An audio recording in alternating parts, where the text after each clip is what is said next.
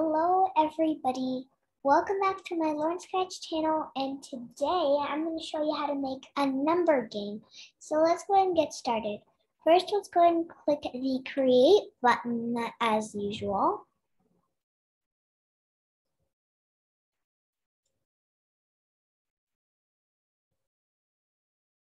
And then you're gonna delete the cat sprite. You can use the cat sprite if you want, but if you don't want to, you can just exit out. So now we're gonna pick another sprite.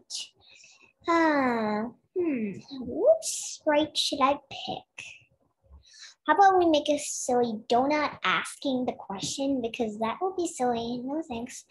How about we do a fox? It'll be sitting and telling us so this box will be sitting on the bottom of the screen and then asking us a question. We can pick a backdrop or maybe we can make our own backdrop like that um, backdrop video, how to make a backdrop in Scratch with the Avery animation. So don't forget to check that out right after this video if you haven't watched it on my channel. So on my channel, if you subscribe, you'll see.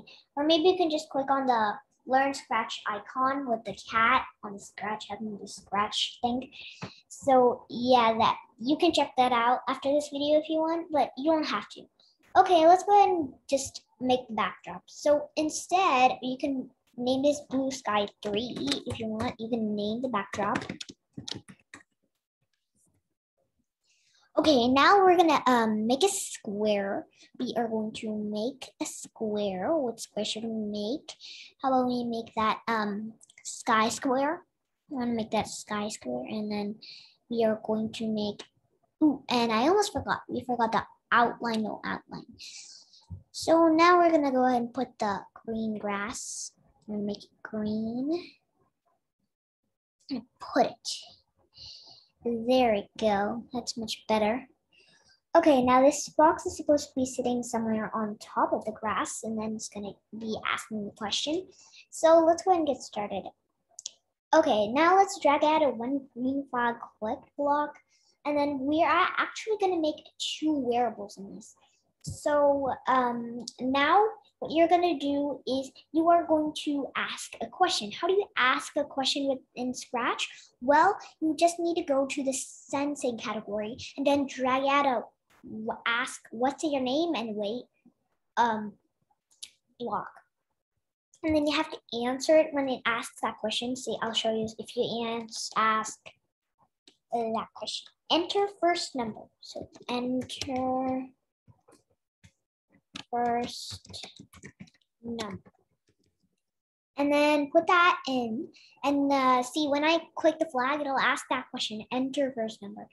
So you see that box actually asks the question. You just ask it and it appears as a box. So you're supposed to type it inside the box. So now we're gonna make them make the two variables. So when you go to the wear variables category, there will be a variable called Make a Variable. It's not actually a variable, but my variable. If you just click on this box, it's going to appear here. So we are going to be doing that. Now let's go ahead and uh, click on Make a Variable, and we're going to name our variable num1. It's like num is like a short form for number. So it can be for all sprites, but you don't have to show it up because it kind of sounds a little bit annoying, but it's okay. If you want to show it up, uh, you can show it up. Just click at the tick here, like this little white box. So now we are going to drag out a set num1. It's not my variable, let's just go to num1. And then we're going to set it to the answer. So the answer is going to be to answer. So now we're going to put it here under this block. So now we're, we're going to do, it's going to ask the second number. So we're going to drag out another of those ask blocks. If you want, you can just do this, duplicate, and then duplicate that block and then enter second number. You can just to second, enter second number. For those of you who just want to type it and get a new block, uh, I'm just doing it. You don't have to do make a new block and do that stuff. Uh, but yeah, just for um, the beginners, the beginners. Okay, anyways, now what we're gonna do is we're gonna do the num two, number two. So we're gonna make another variable called num two for Osmonds. Just do that. And then set num two, num two to answer. And then put that there. Now it's going to say something. What do you want the box to say? Do you want to say for two seconds? Probably go with two seconds. So go to the purple looks category and drag out a say hello for two seconds. If you want, you can just say hello. It doesn't matter whatever you pick. Now we are supposed to use an operator. So what is an operator? An operator is something when it operates something in the code and then that happens in the screen, the screen with this box and backdrop. So we are going to be using operator. So go to the operate green operators category and drag out this star thing.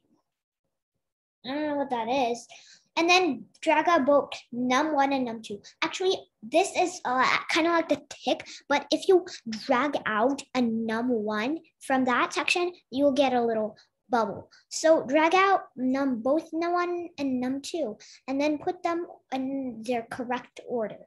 Now just put that in the hello section and then put that there. So let's try it. First number is one, two, now it's saying two. So that is how you can create your own number game. But if you want to just change the numbers, you can actually change it because I'm not really sure what you can do, what numbers will you put in there, dot those boxes. So if you want, you can just comment on my project. It's like in scratch.mit.edu and then you can create an account if you haven't had one.